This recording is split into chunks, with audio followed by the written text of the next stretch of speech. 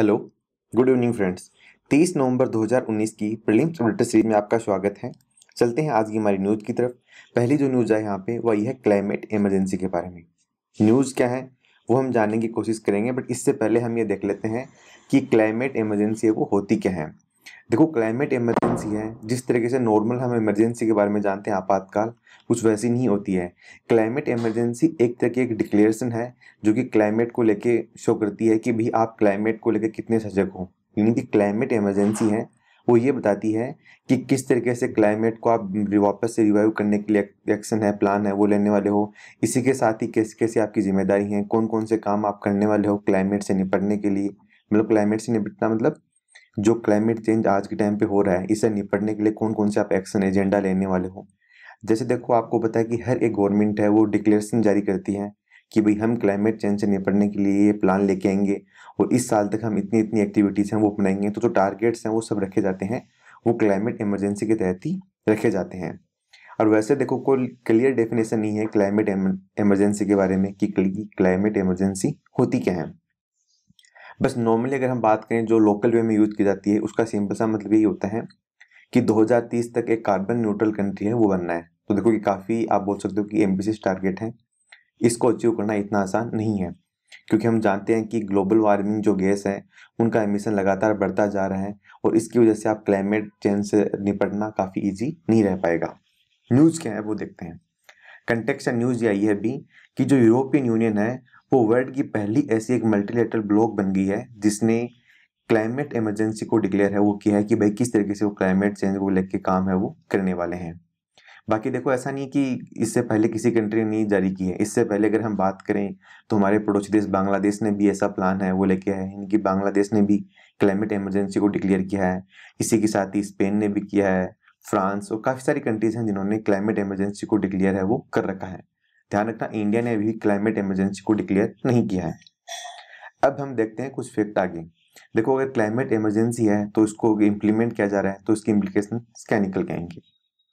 क्यों इसको मतलब क्लाइमेट इमरजेंसी को इम्प्लीमेंट है, वो किया जा रहा है, वो हम जानने की कोशिश करते हैं।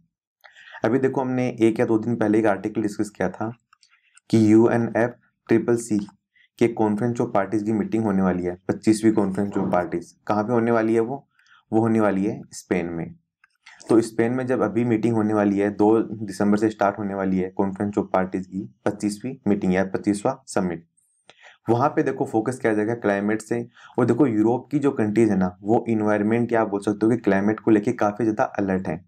जैसे हमारी इंडिया में तो हमने कहीं नहीं देखा कि भाई क्लाइमेट को लेके कोई लोग प्रोटेस्ट वगैरह कर रहे हो इन्वायरमेंट क्लाइमेट की कोई खास बातें नहीं की जाती। बट यूरोपियन कंट्रीज़ हैं, वहाँ पे क्लाइमेट को लेके प्रोटेस्ट किए जाते हैं। अगर वहाँ पे इन्वायरमेंट को नुकसान होता है तो भी वहाँ पे तरह तरह के प्रोटेस्ट वगैरह चलते हैं। जैसे कि यूरोप की कुछ कंट्रीज़ हैं, वहाँ पे पेड़ काटने पर भी बैन है, वो लगा दिया गया है। मतलब वहाँ पे डिफोरेस्टेशन कम्प्लीटली बैन है, वो किया गया है। जबकि हमारे इंडिया में अभी आपको पता है इंडिया एक डेवलपिंग कंट्री है। इसलिए इन्वायरमेंट जैसी चीज़ों को इतनी तवज्जो है वो नहीं दी जाती है। खैर, देनी चाहिए वो एक अलग बात है बट अभी इसकी तरफ़ फोकस नहीं किया जाता है। तो अभी स्पेन में जो दो दिसंबर को कॉन्फ्रेंस ऑफ़ पार्टीज़ की पच्चीसवीं मीटिंग होने वाली है तो उस मीटिंग में जो क्लाइमेट चेंज हो रहा है, इसकी तरफ़ फोकस किया जाए। इसके लिए क्लाइमेट इमरजेंसी है, वो यूरोपियन यूनियन के द्वारा आप बोल सकते हो कि डिक्लेयर है वो की गई है। यानी एक सिंबॉलिक इफ़ेक्ट है ताकि जो वहाँ पे डिस्कशन की जाएगी, उसमें इन्वायरमेंट के प्रति इन्वायरमेंट चेंज हो रहा है क्लाइमेट चेंज हो रहा है, कैसे इस पर एक्शन लिया जाए, किस तरीके से काम करना है, किस तरीके से जो एमिशन है कार्बन एमिशन उसको कम करना है, इन चीज़ों पर फोकस किया जाए, इसके लिए ही क्लाइमेट इमरजेंसी डिक्लेयर की गई है। नेक्स्ट जो आर्टिकल है, वो है एशियान डेनोकोलॉजी कॉन्फ्रेंस के बारे में। तो क्या है एशियान डेंड्रोक्रोनोलॉजी कॉन्फ्रेंस को हम जानते हैं। देखो, पहली बात तो है कि डेंड्रोक्रोनोलॉजी है क्या? डेंड्रोक्रोनोलॉजी है, वो एक साइंस की ही एक ब्रांच है। इसमें स्टडी की जाती है ट्री के बारे में, यानी कि पेड़ के बारे में स्टडी की जाती है। कैसे? थोड़ा एग्ज़ाम्पल से हम समझते हैं। देखो, जब भी किसी पेड़ का तना या काटते हैं तो आपको उसमें ऐसे लेयर बाय लेयर दिखती हैं, ऐसे गोल गोल लेयर सी दिखती हैं। इन लेयर की स्टडी की जाती है और इनसे पता लगाया जा सकता है कि पेड़ कितना पुराना है, कैसे एटमोसफियर में रहा है, पहले कैसा इन्वायरमेंट था, हर चीज़ के बारे में यहाँ से पता चल सकता है। तो साइंस की वो ब्रांच जिसके द्वारा पेड़ की इन सारी जो लेयर्स है ना गोल गोल लेयर दिख रही है आपको। इन सबको देख के, इन सब की स्टडी करके आगे एक्सप्लेनेशन किया जाता है। उस ब्रांच को कहते हैं यहाँ पे डेंड्रोन क्रोनोलॉजी तो अभी देखो इंडिया जो एशियन डेंड्रोकोलॉजी कॉन्फ्रेंस है ना, वो पहली बार इंडिया में आयोजित हो रही है। इसलिए ये न्यूज़ है, वो इम्पोर्टेंट हो जाती है। वैसे तो छठी ये कॉन्फ्रेंस है, जबकि इंडिया में आयोजित होने वाली पहली है। कहाँ पे आयोजित होगी? ये आयोजित होगी बीरबल साहनी इंस्टीट्यूट कहाँ पे? लखनऊ में। बस इंपॉर्टेंट चीज़ ये है कि डेंड्रोक्रोनोलॉजी है क्या? दूसरी बात इंडिया में पहली बार ऐसी कॉन्फ्रेंस वो आयोजित की जा रही है। जैसा मैंने आपको बताया डेंड्रोक्रोनोलॉजी का मतलब है study of the tree ring मतलब पेड़ की जब आपको तने को काटोगे तो उसमें लेयर बाई से गोल गोल दिखती हैं। उनकी रिंग्स की स्टडी की जाती है। उससे पता चलता है कि पेड़ है, वो कितना पुराना है, कैसे इकोसिस्टम में पहले रहा है कौन कौन से इसको प्रॉब्लम्स आई हैं मतलब प्रॉब्लम का मतलब जैसे कि सूखा पड़ा है या फिर आप ये बता सकते हो कि काफ़ी रेनी मौसम था पहले, किस तरीके का क्लाइमेट था तो इन सब की स्टडी है, वो की जाती है। तो उसी को लेके भी न्यूज़ आर्टिकल सामने आया है। नेक्स्ट जो आर्टिकल है, वो है युवा के बारे में। देखो, युवा है क्या वो जानते हैं? सबसे पहली बात ये कि युवा है, वो एक कैंपेन लॉन्च किया गया है यूनिसेफ के द्वारा। अब हमारे देश में यूनिसेफ के साथ हमारी जो गवर्नमेंट है, उसका आप बोल सकते हो कॉन्ट्रीब्यूशन यहाँ पे देखने को मिलेगा। क्या है युवा इंडिया लोन कैंपेन वगैरह? देखो, नाम से पता चला, युवा का मतलब यूथ यूथ की बात यहाँ पे की जा रही है। अगर हम बात करें तो हमारे देश में 10 से 24 साल की एज के जो यूथ हैं, उनकी संख्या है लगभग 300 मिलियन। मतलब 300 मिलियन के आसपास हमारे देश में यूथ बच्चे हैं, यूथ हैं, जो कि काफ़ी ज़्यादा आप बोल सकते हो कि उनको स्किल की ज़रूरत है, उनको एम्पावर करने की ज़रूरत है, उनको अच्छी एजुकेशन की ज़रूरत है हर एरिया में। तो ये जो युवा, जो जनरेशन आप बोलते हो कि अनलिमिटेड केम इनिशिएटिव स्टार्ट किया गया है, इसका टारगेट ये है कि हमारे देश में जो यूथ है, वो इसी के साथ प्राइवेट सेक्टर, इसी के साथ गवर्नमेंट और जो इंटरनेशनल और जो लोकल ऑर्गेनाइजेशन है वो आपस में मिलके यूथ को प्रमोट करें। यूथ को जो भी स्किल्स हैं, जो प्रोवाइड करवानी है एजुकेशन प्रोवाइड करवानी है, उनको एम्पावर करना है, उनको एम्प्लॉयमेंट प्रोवाइड करना है, इन सब की तरफ़ फोकस किया जाए। यानी कि हमारे देश का जो डेमोग्राफी डिविडेंट है या बोल सकते हो कि हमारे देश की यूथ है, इसको सही डायरेक्शन मिल सके। इसके लिए private sector government sector international और जो लोकल ऑर्गेनाइजेशन है, वो मिलके काम करें और इस दिशा में आगे कदम बढ़ाएँ। इसके लिए ये प्रोग्राम है, वो जारी किया गया है। अब हम यहाँ पे जानते हैं यूनिसेफ के बारे में। तो कोई यूनिसेफ है ना, वो यूएन की एक इम्पोर्टेंट एजेंसी है। वैसे तो ध्यान रखना यूनिसेफ है क्या? एक फंड है। कहीं आपको लगे कोई किस तरीके का हमला है? यह एक फंड है वैसे। एजेंसी नहीं, एक तरीके का फंड है, जिसका स्टार्टिंग में नाम था United Nation children's fund but बाद में इसका नाम है, वो चेंज कर दिया गया था United Nation International Children's Emergency Fund इसकी देखो, शुरुआत की गई थी सेकेंड वर्ल्ड वॉर के बाद। हुआ क्या था? जब सेकेंड वर्ल्ड वॉर कंप्लीट हुआ था उसके बाद में काफ़ी सारे लोगों की डेथ हुई थी तो काफ़ी ऐसे बच्चे थे ऑल रोड में जो अनाथ हो गए थे, जिनको रिहेबिलिटेट करना था, उनके पास कोई फैसिलिटी नहीं थी। तो ऐसे बच्चों को या आप बोल सकते हो कि उनको सपोर्ट प्रोवाइड करवाया जाए, जिनके पास रहने को घर नहीं है, कोई भी तरह की फैसिलिटी उनको मुहैया नहीं करवाई गई है। इसीलिए इस फंड का निर्माण है, वो किया गया था 1946 में, और ये फंड है, वो आता है वैसे यूनाइटेड नेशन जनरल असेंबली के अंडर क्या था? जैसा मैंने आपको बताया कि सेकेंड वर्ल्ड वॉर के बाद जो बच्चे अनाथ हो गए थे, बेघर हो गए थे, उन सबको यानी भूख मरी या हेल्थ केयर है, वो सब फैसिलिटी प्रोवाइड करवाने के लिए इस फंड का निर्माण है, वो किया गया था। एक तरीके का ह्यूमनिटेरियन एंड डेवलपमेंट फंड है, जो कि यूथ के लिए या बच्चों के लिए मेनली काम है, वो करता है। इसी के साथ अगर हम कुछ और फैक्ट जानने की बात करें तो इसका हेडक्वार्टर है, वो है न्यूयॉर्क में। मतलब यूएसए में इसका हेडक्वार्टर है। देखो, इसके हेड वगैरह कौन है, इतना इंपॉर्टेंट नहीं है। ये ध्यान रखना, इसकी जो पेरेंट ऑर्गेनाइजेशन है, वो है यूनाइटेड नेशन जनरल असेंबली यानी कि यू और इसी के साथ ही United Nation Economic and Social Council है, वो इसके जो एडमिनिस्ट्रेशन के और बाकी काम है, उन सबको संभालती है। तो ध्यान रखना यूनाइटेड नेशन जनरल असेंबली और United Nation Economic and Social Council यानी कि इकोसोक है, वो इसको लेके काम है, या बोल सकते हो कि इसकी पेरेंट ऑर्गेनाइजेशन है। यूनिसेफ को 1965 में ग्लोबल पीस प्राइज से भी नवाजा गया था। क्यों? क्योंकि इन्होंने बच्चों के लिए काफ़ी अच्छा काम किया था इस फंड ने। और इसकी देखो जगह जगह पे रीजनल आप बोल सकते हो कि ऑफ़िस वगैरह भी हैं। मेनली डेवलपिंग कंट्रीज़ पे इसका ज़्यादा फोकस रहता है। क्यों? क्योंकि देखो, डेवलपिंग कंट्रीज़ में भूख मरिया बच्चों पर कम फोकस किया जाता है। इसीलिए वहाँ पर यूनिसेफ बहुत ही अच्छे से काम है, वो करता है। इंपॉर्टेंट चीज़ ये, यूनिसेफ को फंड कहाँ से मिलता है? देखो यूनिसेफ को कोई वैसे फंड है, वो मिलता है सारा वॉलेंट्री बेसिस पे। यानी या तो गवर्नमेंट प्रोवाइड करवाती है अलग अलग कंट्रीज़ की, या फिर जो ऑर्गेनाइजेशन है प्राइवेट ऑर्गेनाइजेशन है, वो फंडिंग देते हैं। मतलब कि सारी वॉलेंट्री कॉन्ट्रीब्यूशन के बेसिस पे ये काम है, वो करती है डोनेशन के आधार पे। हेडक्वार्टर जैसा मैंने आपको बताया न्यूयॉर्क में है। पेरेंट ऑर्गेनाइजेशन मैंने आपको बता दिया कि यूनाइटेड नेशन जनरल असेंबली है और United Nation Economic and Social Council के अंतर्गत ये काम है, वो करता है। है क्या? एक तरीके का यह फंड है। नेक्स्ट जो आर्टिकल है, वो है यहाँ पे सप्लीमेंट्री ग्रांट के बारे में। देखो सप्लीमेंट्री ग्रांट है क्या? इसके बारे में यूपीएससी पूछ सकती है? दूसरा ये पूछ सकते हैं कि सप्लीमेंट्री ग्रांट के बारे में हमारे कॉन्स्टिट्यूशन में मेंशन है या नहीं है। देखो, पहली बात तो ये कि सप्लीमेंट्री ग्रांट के बारे में हमारे संविधान में ऑलरेडी मेंशन किया गया है। आर्टिकल 115 उसमें क्लियर मेंशन किया गया है कि सप्लीमेंट्री ग्रांट एडिशनल और एक्सेस ग्रांट है, वो मतलब उनकी आप बोल सकते हो कि अनुमति है, वो ली जा सकती है। इसी के साथ ही संविधान के आर्टिकल 116 या 116 में मेंशन किया गया है कि vote on account, vote of credit. देखो, यहाँ पे वोट ऑन अकाउंट का क्या मतलब होता है? कुछ ध्यान है आपको?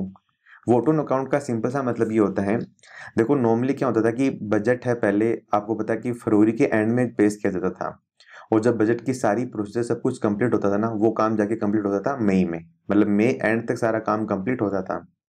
जबकि हम जानते हैं कि फाइनेंशियल ईयर है वो तो एक अप्रैल से स्टार्ट है, वो हो जाता है।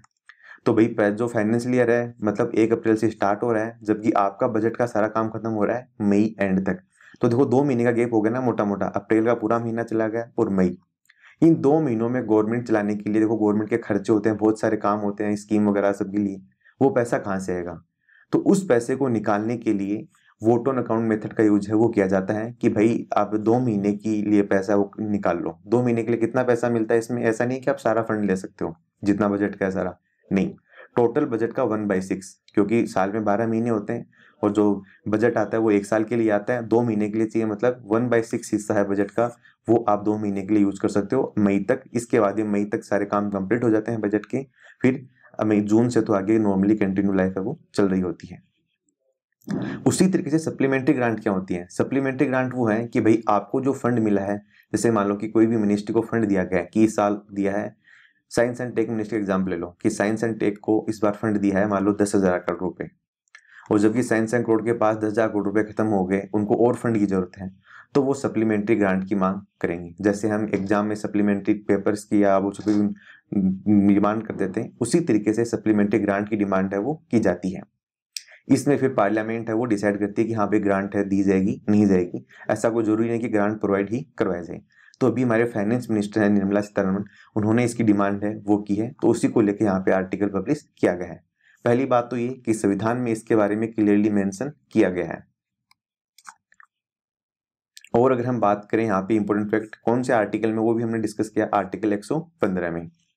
और ये बात क्या है, एक इफ़ेक्ट ये कि ये जो ऐसे सप्लीमेंट्री ग्रांट है ना ये पार्लियामेंट में पास करवानी होती हैं, पार्लियामेंट में प्रेजेंट करनी होती हैं और फाइनेंशियल ईयर के अंदर अंदर ही। मतलब अभी जो फाइनेंस ईयर चल रहा है हमारा 2019-20 तो अप्रैल जो, सॉरी, आप बोल सकते हो कि 30 मार्च 2020 से पहले पहले इस तरह की ग्रांट है, वो क्लियर करवानी होती हैं। 2020 के बाद नहीं चलेगी। 2020 के बाद तो अगला सेशन स्टार्ट हो जाएगा मार्च के बाद तो उसमें आगे की बातें हैं, वो की जाएँगी। एक फैक्ट ये भी है कि पब्लिक अकाउंट कमेटी है, वो इसको एग्जामिन भी करती है कि भाई आपने खर्चा कहाँ किया है, उसका काम भी यही है। अब देखते हैं नेक्स्ट आर्टिकल नेक्स्ट जो आर्टिकल है, वो है रजिस्ट्रेशन ऑफ़ पॉलिटिकल पार्टीज़ यानी कि राजनीतिक पार्टी है, उनका रजिस्ट्रेशन की बात की जा रही है। देखो, यहाँ पे फोकस करेंगे आज के आर्टिकल में स्टेट पार्टी के बारे में। क्यों? क्योंकि न्यूज़ ये आई है कि हरियाणा में एक पार्टी है, जननायक जनता पार्टी तो इसको अभी इलेक्शन कमीशन ऑफ़ इंडिया ने स्टेट पार्टी का दर्जा है, वो दिया है। या फिर हम बोल सकते हैं कि स्टेट पार्टी के तौर पे इसको रिकॉग्नाइज किया गया है। पहली बात तो ये कि कौन सी पार्टी स्टेट पार्टी है, कौन सी पार्टी कौन सी पार्टी सॉरी नेशनल लेवल पे पार्टी है, ये डिसाइड किया जाता है इलेक्शन कमीशन ऑफ़ इंडिया के द्वारा। इसमें कोई तू तू मैं मैं नहीं चलती। इलेक्शन कमीशन ऑफ़ इंडिया ने कुछ क्राइटेरिया रखे हुए हैं, उसी के बेसिस पे पार्टी को डिसाइड किया जाता है कि कौन सी पार्टी स्टेट पार्टी है, कौन सी पार्टी नेशनल पार्टी है। चलो आप ये बताओगे हमारे देश में अभी कितनी नेशनल पार्टी हैं? आप उनके नाम बताओ कमेंट बॉक्स में कि कितनी नेशनल पार्टी हैं कौन कौन सी हैं? देखो, हमारे संविधान का जो एक्ट है रिप्रेजेंटेशन ऑफ़ पीपल एक्ट 1951 उसके सेक्शन 29 ए में क्लियर मेंशन किया गया है कि पॉलिटिकल पार्टी है, उनका रजिस्ट्रेशन है, वो इलेक्शन कमीशन ऑफ़ इंडिया के अंडर है, वो किया जाएगा, इसकी ज़िम्मेदारी है वो रहती है। तो आज हम ये जानने की कोशिश करेंगे इस आर्टिकल में कि कौन सी पार्टी स्टेट पार्टी होगी, या फिर स्टेट पार्टी बनने के लिए क्या क्या क्वालिफिकेशन है, वो होती है। तो एक एक करके हम क्वालिफिकेशन को डिस्कस करने वाले हैं। तो देखो, अगर क्वालिफिकेशन की बात करें तो मेनली पाँच क्वालिफिकेशन है। अगर इनमें से कोई भी एक क्वालिफिकेशन या क्वालिफाई या वर्क करते हो तो आपकी पार्टी स्टेट पार्टी है, वो बन सकती है। जैसे पहली कंडीशन क्या है? पहली ये है यहाँ पे कि जितने भी वोट पड़े हैं जनरल इलेक्शन की बात की जा रही है मतलब स्टेट के असेंबली के जो इलेक्शन हो रहे हैं, उसमें टोटल जितने वोट पड़े हैं, उनका छह परसेंट वोट मिले हैं वो आपको। प्लस में आपने कोई भी दो सीटें जीती हों तो आपको स्टेट पार्टी का दर्जा दे दिया जाएगा। दूसरी बात देखते हैं, ये आपने फुलफिल नहीं की तो दूसरी कंडीशन हो रहा है। दूसरी कंडीशन ये हो सकती है कि जितने भी वैलिड वोट हैं, अब बात की जा रही है यहाँ पे लोकसभा इलेक्शन की, कि लोकसभा इलेक्शन में हो रहे हैं ना, उसमें से आपको वैलिड वोटों का छह परसेंट वोट जीतने हैं और कम से कम एक लोकसभा की सीट आपको जीत के दिखानी है, तभी आपकी पार्टी को स्टेट पार्टी का दर्जा मिलेगा। तीसरी कंडीशन या तीसरी क्वालिफिकेशन ये रखी गई है कि एटलीस्ट अब की जा रही है स्टेट असेंबली इलेक्शन की बात, कि स्टेट असेंबली इलेक्शन में या तो आप तीन परसेंट सीटें जीत लो मतलब जितनी भी सीटें हैं आपके स्टेट में, उसकी तीन परसेंट सीटें जीत लो या फिर तीन सीटें, जो भी ज़्यादा है वो जीतना है। ऐसा नहीं है कि जैसे आपके स्टेट में सौ सीटें हैं, आपको तीन परसेंट जीतनी है सौ का तो मतलब तीन सीटें हो गई। तो आप तीन सीट जीत के ठीक है, काम चला लिया। बट अगर मान लो कि आपके स्टेट में दो सौ सीटें हैं तो दो सौ का तीन परसेंट कितना हुआ? छह सीटें।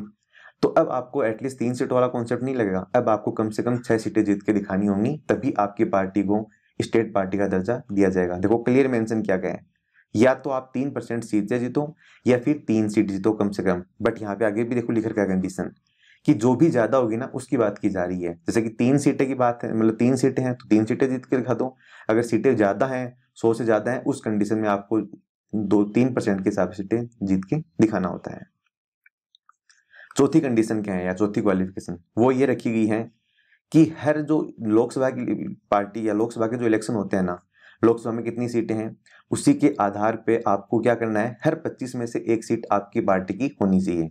मतलब आपकी जैसे पार्टी है एक्स वाई जेड और लोकसभा में सीटें हैं मान लो 300 तो हर पच्चीसवीं में से एक सीट है वो आपकी होनी चाहिए। मतलब पच्चीस सीटें किसी और पार्टी की हो सकती हैं, एक सीट आपकी। पच्चीस में से एक सीट आपकी होनी चाहिए। तो इस तरीके से तीन सौ में कितनी सीटें वो आपकी होनी चाहिए। ये एक मेथड है, वो रखा गया है स्टेट पार्टी के लिए। एक मेथड ये भी है कि भाई लोकसभा इलेक्शन में जितने भी वोट पड़े हैं ना, आपने कोई भी सीट नहीं जीती, कोई बात नहीं बट एटलीस्ट आप आठ परसेंट वोट तो जीत के दिखाओ।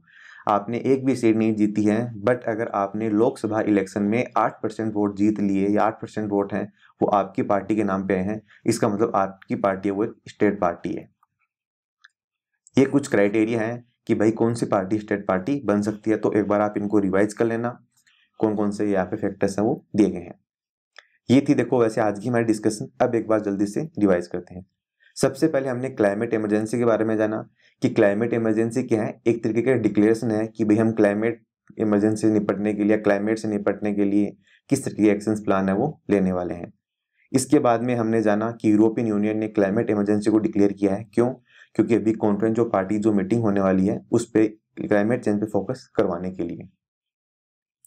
बाद में हमने जाना कि बी सिक्स जो एशियन डेनोड्रेकोलॉजी जो कॉन्फ्रेंस है, वो आयोजित की जा रही है इंडिया में तो उसी को लेकर न्यूज़ आई है। इसके बाद ही हमने युवा जो जनरेशन अनलिमिटेड इनिशिएटिव है, उसके बारे में जाना। इसी के साथ हमने यूनिसेफ के बारे में जाना, जो कि एक चिल्ड्रंस के लिए इमरजेंसी फंड बनाया गया है। यूनाइटेड नेशन जनरल असेंबली और इकोसोक के अंडर ये आता है। फिर हमने यहाँ पे सप्लीमेंट्री ग्रांट के बारे में जाना कि सप्लीमेंट्री ग्रांट क्या होती है वोट ऑन अकाउंट है, वो क्या होता है। इसके बाद हमने रजिस्ट्रेशन और पॉलिटिकल पार्टी के बारे में जाना कि कौन सी पार्टी स्टेट पार्टी होती है। स्टेट पार्टी होने के लिए क्या क्या क्वालिफिकेशन है? ये थी आज की हमारी कंप्लीट डिस्कशन तो फ़िलहाल डिस्कशन में इतना ही है। तो thank you thank you much for discussion